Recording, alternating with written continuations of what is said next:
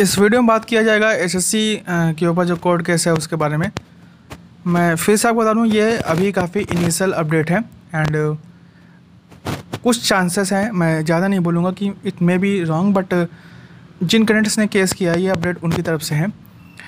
SSC ने review petition file करने के लिए कहा था डबल बेंच में कि आप चाहें तो रिव्यू पटिशन फ़ाइल कर सकते हैं। एंड एस ने ये ये भी कहा था डबल बेंच में कि एसएससी को एक वर्ड मिल गया है। ओकी का एंड इसके बाद जो है एस ने फ़ाइल किया है रिव्यू पटिशन अभी इसमें कई सारी चीज़ें सामने आ रही हैं कि एसएससी ने एक वर्ड पेश किया था जज साहब के सामने, लेकिन कोर्ट ने उसको एक्सेप्ट नहीं किया है।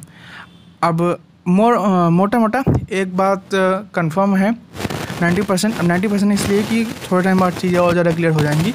बट अपडेट ये नाइन्टी परसेंट कन्फर्म है कि एसएससी की जो रिव्यू पटिशन है, उसको डिसमिस कर दिया गया है एंड अब ये मैटर आपका एक्सपेक्टेड है कि भाई अब ये मैटर सुप्रीम कोर्ट जाएगा, क्योंकि मुझे नहीं लगता कि एसएससी इस चीज़ को मानेगा।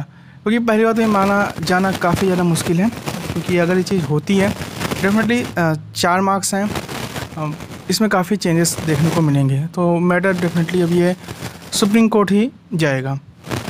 बाकी कुछ टाइम बाद चीज़ें और ज़्यादा क्लियर हो जाएँगी, जिससे आपको और अच्छी तरीके पर चलेगा कि एक्चुअली में क्या हुआ। अभी के लिए अपडेट यही है। Have next